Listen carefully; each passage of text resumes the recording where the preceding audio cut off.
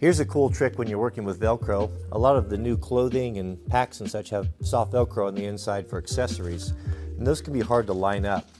If you take a piece of heavy paper or a plastic bag,